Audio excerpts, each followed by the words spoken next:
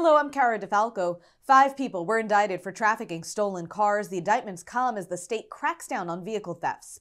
PATH riders will start to see improvements this year. A $1 billion plan that was approved in 2019 will see longer platforms and trains this year, as well as new cars before the year is out.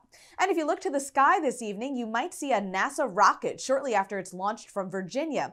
Odds are better in South Jersey, but most of us will be able to catch a glimpse.